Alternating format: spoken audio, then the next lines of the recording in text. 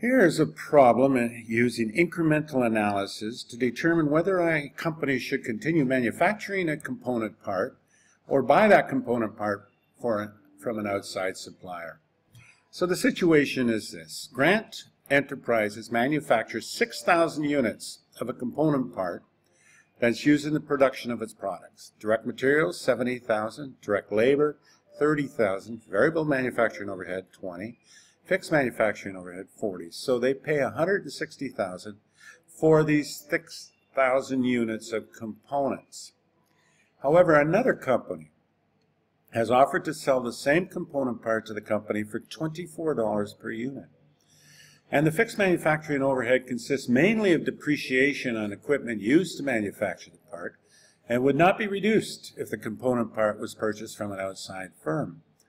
If the component part is purchased, the outside firm, Grant, has an opportunity to use the factory equipment to produce another product has a contribution margin of 28000 Prepare an incremental analysis. So, make, buy, and we're going to examine the increase and decrease incrementally between the make and the buy decision.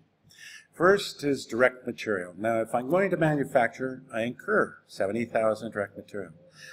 But zero for the buy decision, so therefore the increase is going to be 70,000 cost. Same with direct labor, zero for the buy, the difference is 30.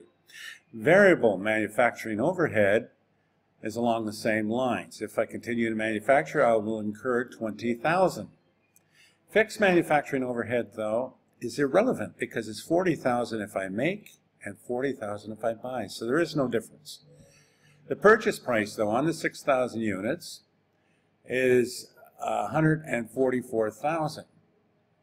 Total annual would be 160, 184, 24,000.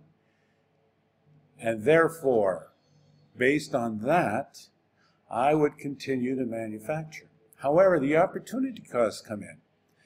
The opportunity cost is I would be foregoing 28,000 if I continue to manufacture uh, so therefore, that becomes a cost to the alternative to manufacture.